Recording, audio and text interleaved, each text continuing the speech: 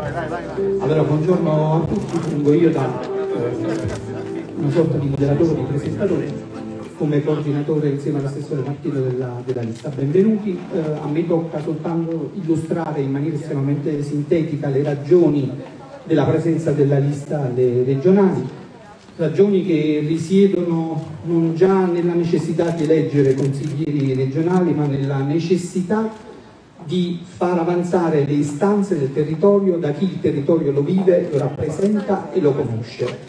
È per questa ragione che nelle singole circoscrizioni provinciali sono stati individuati con attività di scouting, se così eh, si può dire, lasciatemi passare il termine, posta in essere in primo luogo dall'assessore Marchillo, le migliori eccellenze possibili. È per questo che in questo territorio la, la nostra lista ha l'onore di essere rappresentata da Floriano Panza e da Giulia Abate, che a nostro avviso sono appunto le migliori eccellenze di questo territorio che so, sapranno contribuire al governo regionale in maniera determinante, avanzando istanze non solo fine a se stesse, ma avanzando istanze già prospettando soluzioni.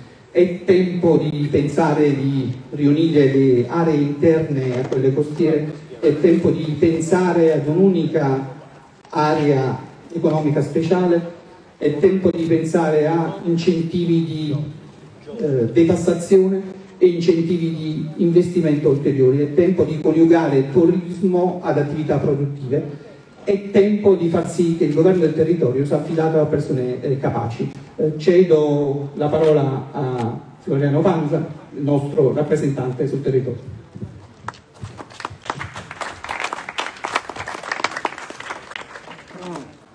Buongiorno a tutti, vivere questo momento in questo spazio che negli anni passati ho frequentato molto sempre in maniera abbastanza rivendicativa, perché la provincia di Benevento credo che non abbia mai scordato che il cuore del Sannio e ai Sanniti questa molla risulta molto cara, perché crede, credo che non ci possa esistere, non possa esistere nessuna prospettiva. Se alle spalle non ci sta una convinzione ferma di quello che si è stato e si è. Quando Antonio Marchiello mi ha detto che stava preparando questa lista, dato il rapporto umano che io ho con questa persona da 6-7 lustri, chiamiamoli così, così il conto diventa più complicato, non potevo che dare una sola risposta, ma nel frattempo si è inserito anche il Presidente della Regione,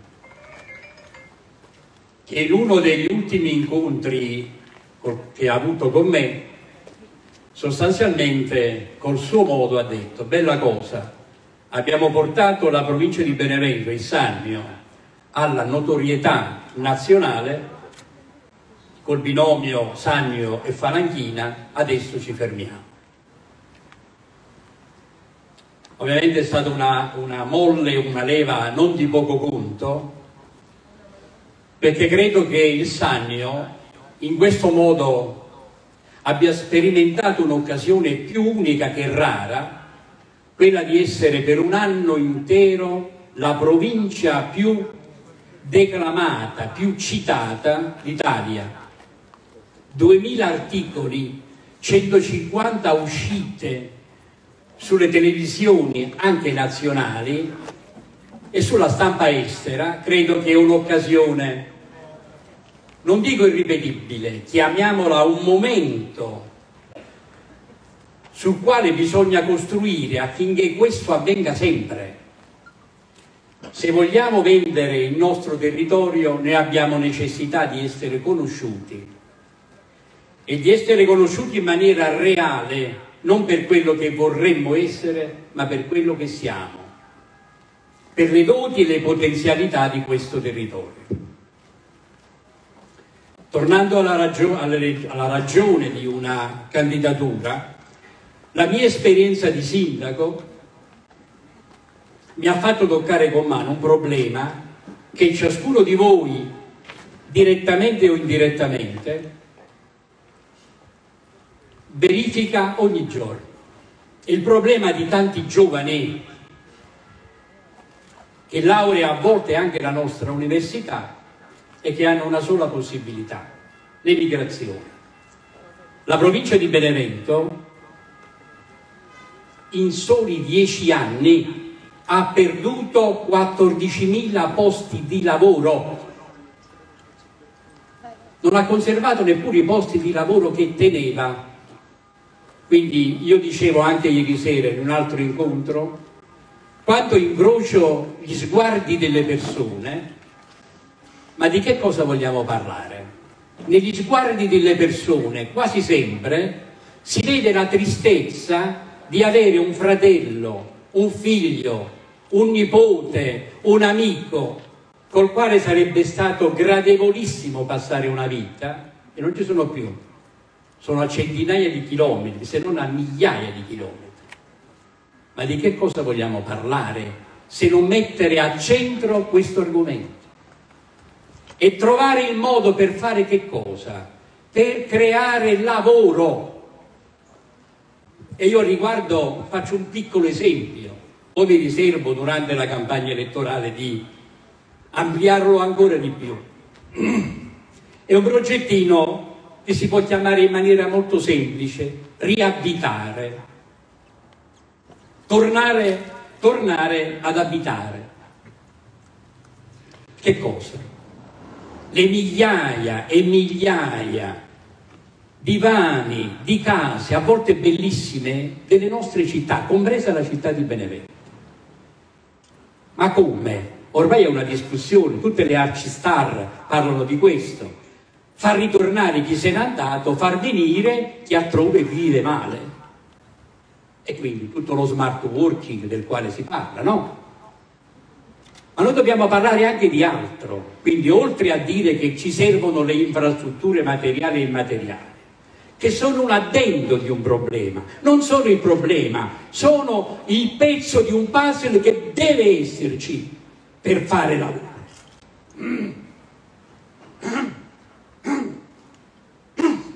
La febbre l'ho, l'ho appena misurata, quindi dovremmo stare tranquilli.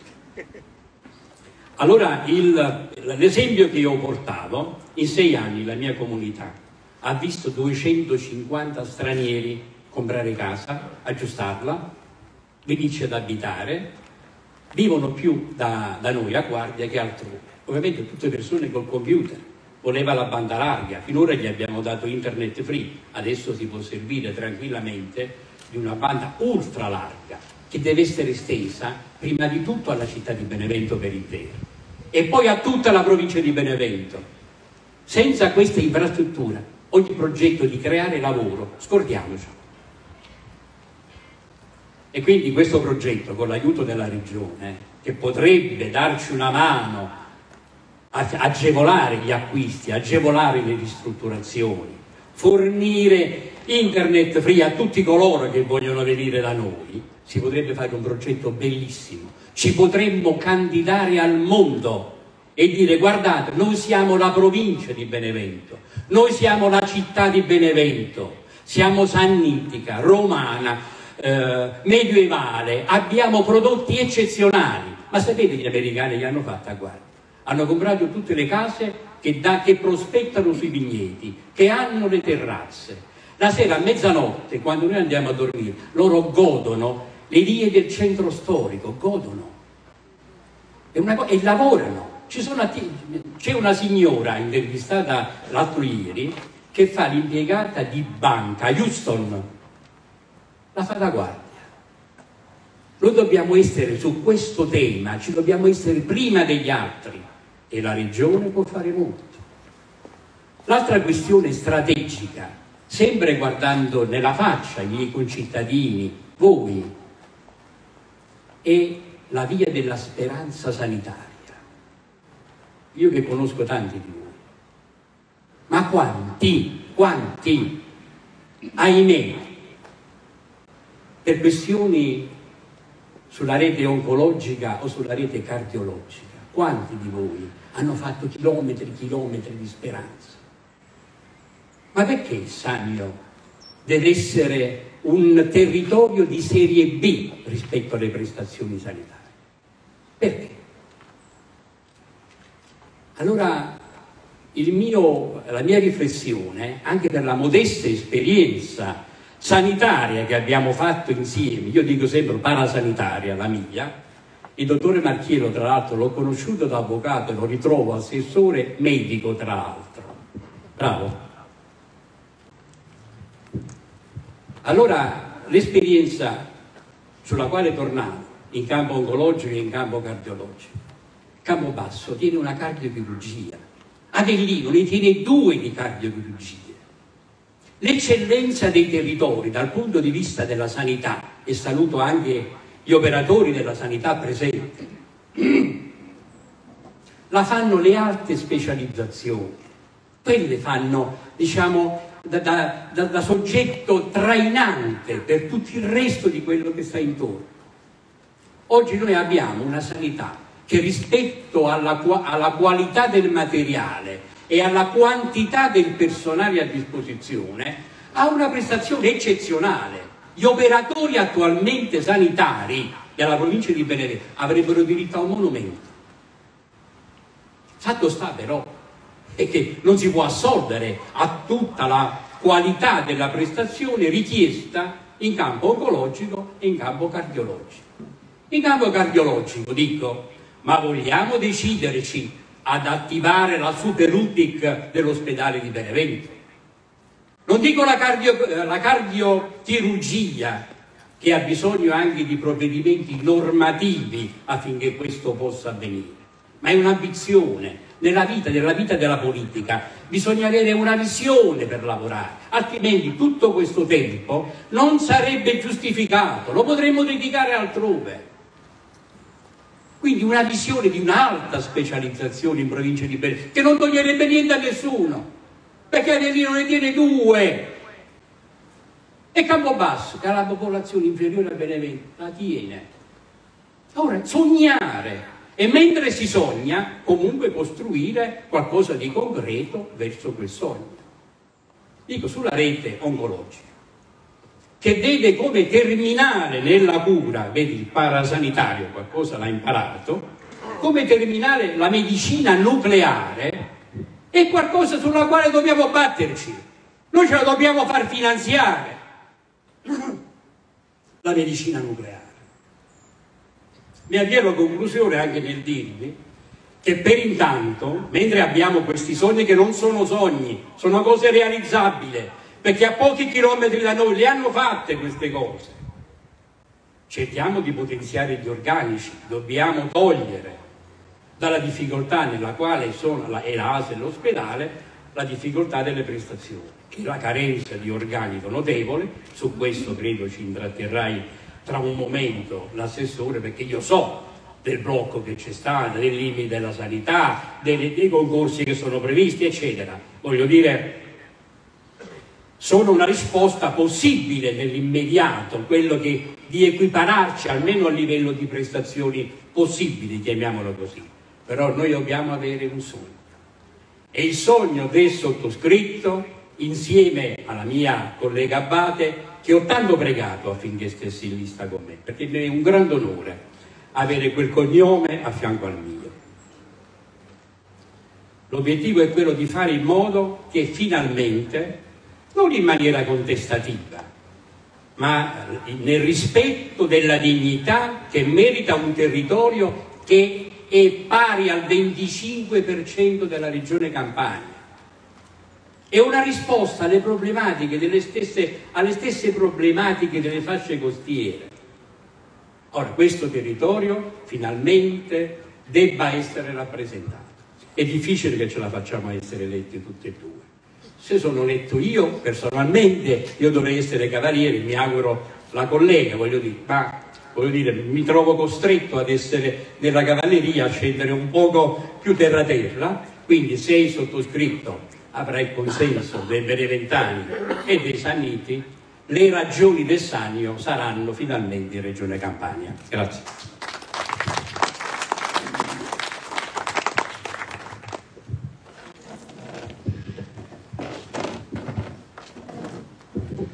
Buongiorno a tutti. Intanto avete capito una cosa, che questa lista è fatta di persone che hanno veramente il sagno scolpito nel cuore e che se ci sarà dato l'onore, sia a Floriano il presidente, per me rimane sempre il presidente, o a me, le ragioni di questo sagno saranno non urlate, ma rivendicate con estrema forza Forse questo è mancato in questi cinque anni, una rappresentanza istituzionale che battesse un po' i pugni sul tavolo ma lo facesse con il garbo che ci è proprio.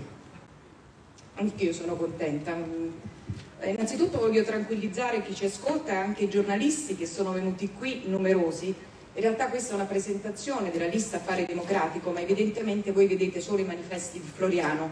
Eh, in realtà io ho fatto una scelta quest'anno, una scelta di non produrre manifesti. Eh, sono stata impegnata nella campagna elettorale più volte e ho sempre anch'io contribuito ad imbrattare muri, talvolta beccando multe perché ti riesce difficile da candidato controllare i sistemi di attacchinaggio e mh, prendendomi eh, sberle in faccia dai soliti ben pensanti che dicono ma perché non controlli? No, quest'anno ho deciso una cosa, ho deciso di non affidare il mio viso ai muri e ai manifesti. Immagino insomma che avendo avuto l'onore di essere impegnata più volte su questo territorio, qualcuno possa ricordare il mio volto. E poi guardate, mi veniva in mente una cosa, prima lo dicevo a tutti quanti i giornalisti che hanno, si sono compiaciuti, non compiaciuti io, mi sono compiaciuta nell'essere intervistata. Siamo troppi, quest'anno siamo un po' troppi, Assessore, siamo un, noi siamo un territorio veramente molto piccolo. C'era, mi ricordo che Churchill diceva che i Balcani producono più storia di quanto possano gerirne. Più o meno la stessa cosa sta capitando con noi candidati. Noi siamo veramente troppi e siamo anche con un numero esiguo, 50 candidati è difficile, è veramente difficile.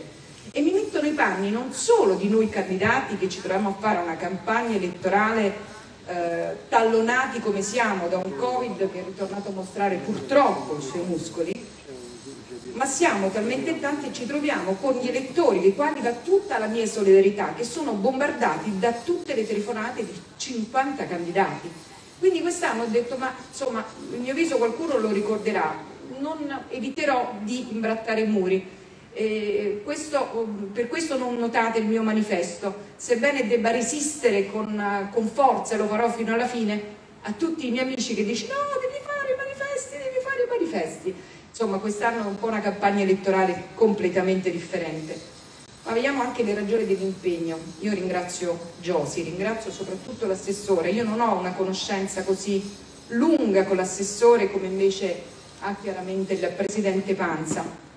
Una conoscenza che però si è maturata ed approfondita sui temi, sui temi in questi cinque anni, anzi negli ultimi tre anni in cui lei ha rivestito la carica tu hai rivestito la carica di assessore.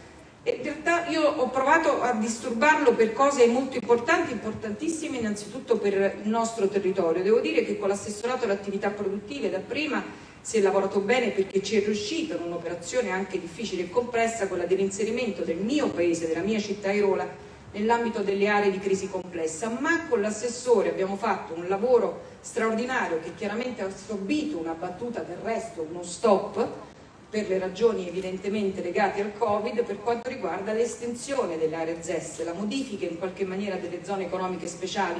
Il Presidente ha affrontato in qualche maniera nel suo intervento un argomento. Però io prima di tutto vorrei raccontarvi quello che ho un po' detto anche ai giornalisti. Noi ci troveremo a che fare con una storia del tutto nuova. Il Covid ha cambiato completamente la nostra vita, la percezione della nostra esistenza. E noi da qui dobbiamo ripartire perché il Covid, ragazzi, scusate ragazzi e signori giornalisti, può modificare senz'altro in meglio le nostre prospettive di crescita e di sviluppo. Già al nord si sta assistendo in questi giorni o in questi ultimi mesi ad un progressivo, non svuotamento non si può parlare, ma una progressiva fuga, tra virgolette, di cittadini che ritengono la città o la grande metropoli poco ospitale. Ma perché ciò accada però, carissimo Antonio, occorre che questo territorio diventi attrattivo, ma diventi attrattivo non nel senso che occorre trovare dei parchi giochi o dei Luna Park, diventi attrattivo nei termini di servizi essenziali offerti ai cittadini. Floriano, il Presidente, ha tratteggiato uno degli aspetti, che è quello chiaramente della banda ultralarga. Tra l'altro il progetto della banda ultralarga è proprio dell'assessorato, il progetto Bull, e io ieri ho fatto anche un po' cenno in una piccola diretta, perché chiaramente questi sono gli strumenti a disposizione di noi candidati, non potendo incontrarci, evitando comizi in qualche maniera, però nella diretta ho anche affrontato questo piccolo argomento. Il progetto Bull della Regione Campania, che a questo punto io, anche io ne rivendico in qualche maniera non l'appartenenza assolutamente, ma l'aver portato fortemente nel mio comune, è un progetto che mira soprattutto a coprire quelle che sono definite le aree bianche, quelle che gli operatori telefonici considerano poco remunerative e noi ne abbiamo parecchie di aree bianche. Però in questo, caro Presidente, c'è anche la stoltezza di noi e mi ci metto io in primis da amministratrice perché fatichiamo certe volte a star dietro anche a progetti di così ampio respiro che sono destinati a modificare